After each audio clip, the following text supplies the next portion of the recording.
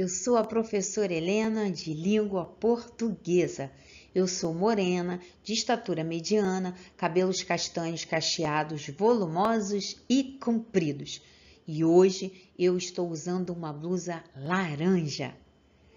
Eu queria lhe fazer uma pergunta. O que você acha sobre o uso das tecnologias? Qual a sua opinião? Você já percebeu que o tempo todo somos convidados a apresentarmos a nossa opinião sobre assuntos diversos? O que você acha desse tema? Hum? O tema da nossa aula de hoje é apresentar opinião. Mas o que é opinião? O dicionário Hawais define opinião como modo de pensar, modo de julgar, pensamento. Ou seja, a opinião é pessoal e pode variar, porque nós podemos nos transformar ao longo da nossa vida. Então, hoje, nós podemos achar algo interessante e daqui a algum tempo percebermos que aquilo não era assim tão bom como pensávamos. Mas o que é expressar opinião? Como que eu expresso a minha opinião? Você pode expressar uma ideia ou um sentimento de várias formas. Você pode expressar por palavras, sejam palavras escritas ou palavras faladas. Você pode expressar por gestos.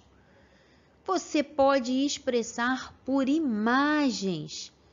E muitas das vezes nós podemos também expressar aquilo que estamos sentindo pela nossa própria fisionomia ou com o nosso próprio corpo.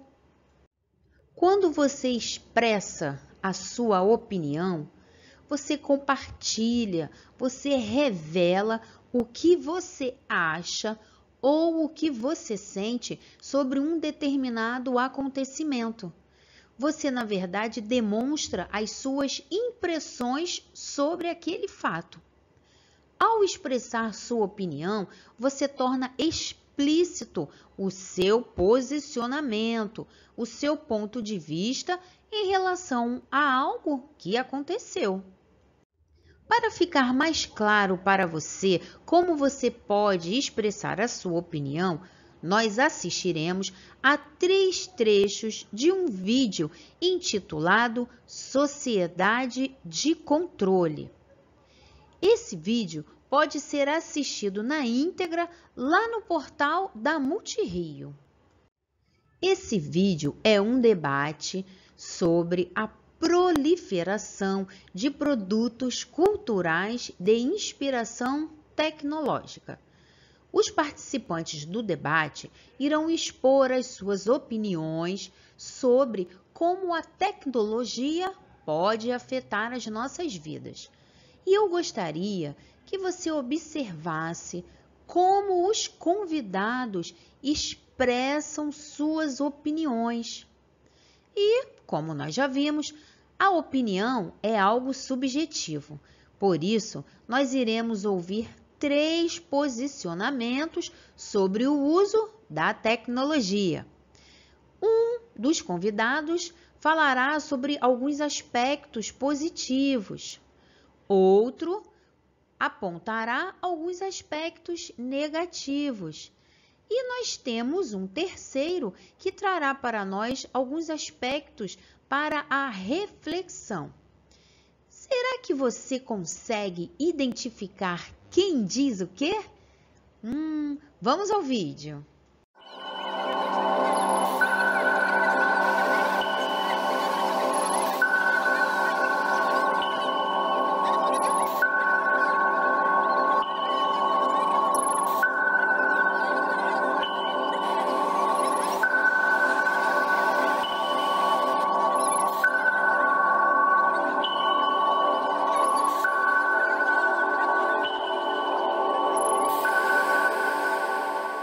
Estava vendo esses dias, até tem uma, uma proposta de um app, de um aplicativo para celular, é, eu não lembro exatamente o nome, esse app ele identifica as fases do sono de uma determinada forma que ele vai te acordar numa hora mais propícia, assim, você ter uma boa noite de sono, relaxado e tal.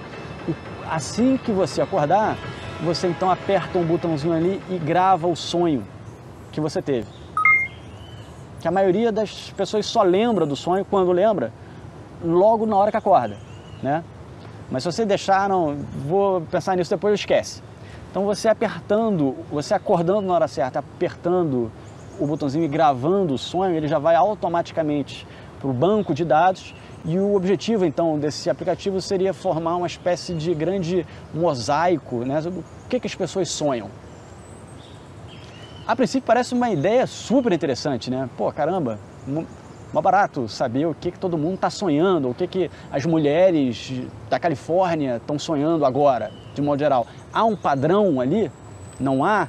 Esse padrão ele pode ser referido à questão demográfica ou de classe? Será que mulheres de classe mais alta sonham com determinados temas mais recorrentes do que as mulheres de classe mais baixa? Será que as mulheres de 20 anos sonham com determinados temas e as mulheres de 50 outros e tal?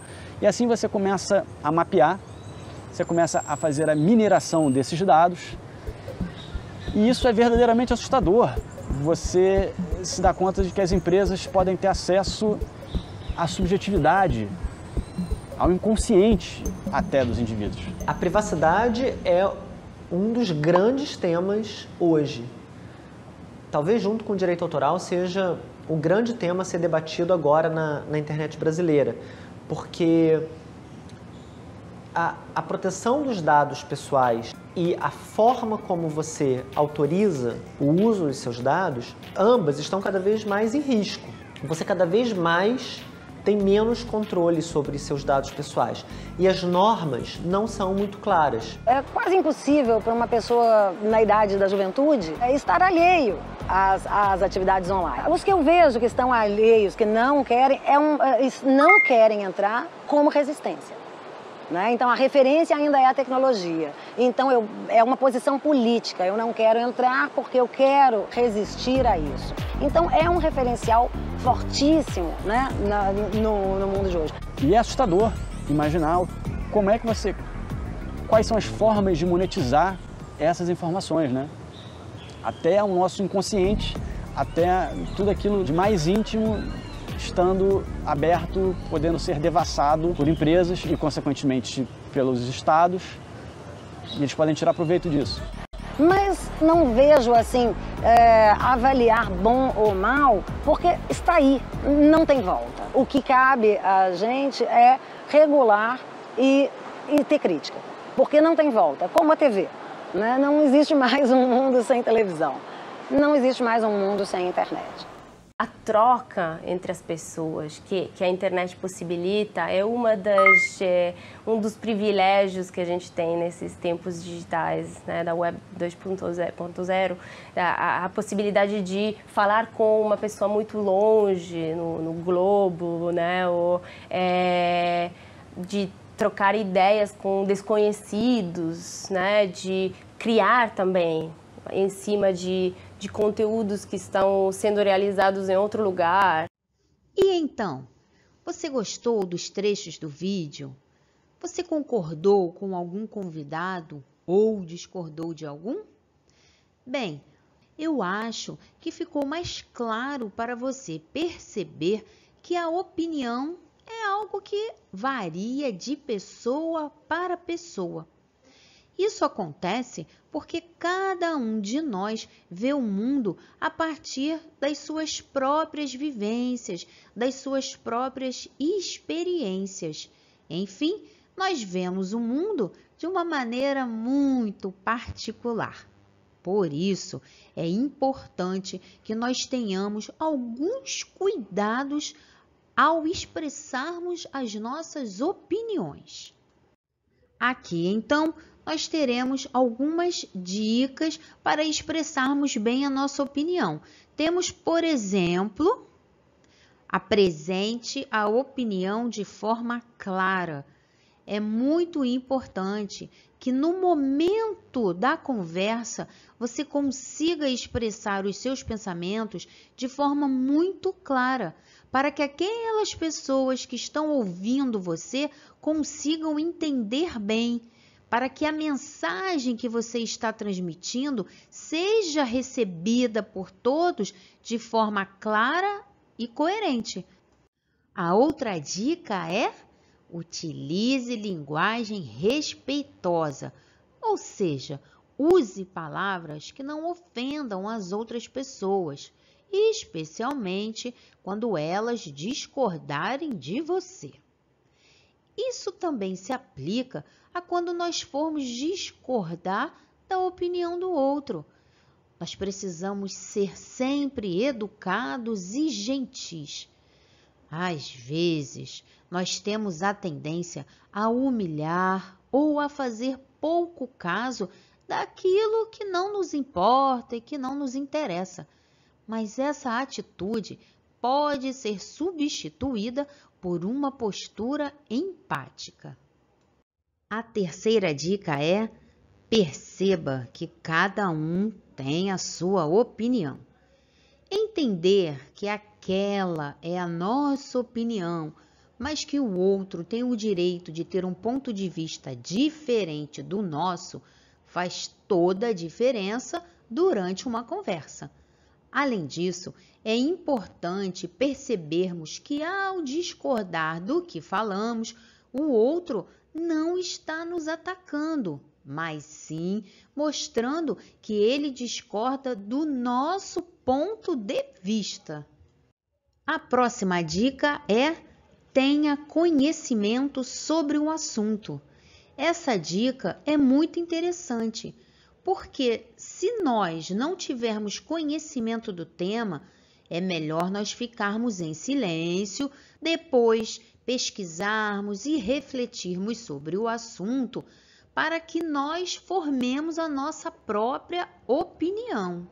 É melhor ficarmos em silêncio do que falarmos coisas que não são verdadeiras. E a última dica de hoje é: se possível, dê um exemplo. Cite um exemplo que ajude o ouvinte a entender melhor a sua mensagem, a entender melhor o seu pensamento. Agora é o momento de nós revisarmos o que foi trabalhado no encontro de hoje. Hoje, nossa aula foi sobre expressar opinião nós vimos o que é opinião, vimos algumas formas pelas quais nós podemos expressar a nossa opinião. Além disso, vimos também algumas dicas importantes que podem ser seguidas na hora de nós opinarmos, como, por exemplo, respeitar a opinião das outras pessoas. E como exemplo de outras pessoas expressando a sua opinião, nós assistimos a alguns trechos do vídeo A Proliferação de Produtos Culturais de Inspiração Tecnológica. Agora é com você. Esse é o momento de você expressar e de você ouvir opiniões. Com os seus colegas, leia esta tirinha do Armandinho e apresente a sua opinião sobre o tema nela abordado. Nessa tirinha, nós temos o Armandinho de frente para a televisão. Ele está lá, olhando para a TV. E de repente ele diz: Algumas propagandas são doidas. Parece que tentam me convencer a querer o que eu não preciso. Hum, eu vou expressar minha opinião. Eu estou muito feliz por você ter ficado comigo até aqui. Muito obrigada e até a próxima aula.